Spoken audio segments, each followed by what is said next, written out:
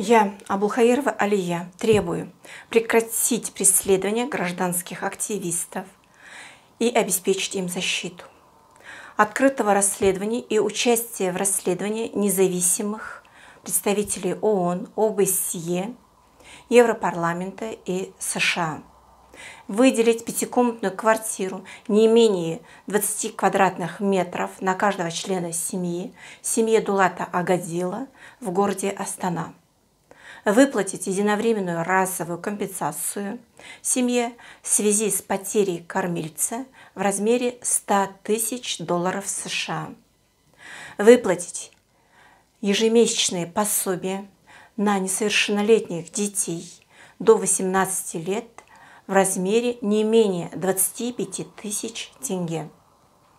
Бесплатного обучения для детей Дулата в высших учебных заведениях переименовать поселок Талапкер, в котором жил Дулат, в честь Дулата именем Дулат Агадил.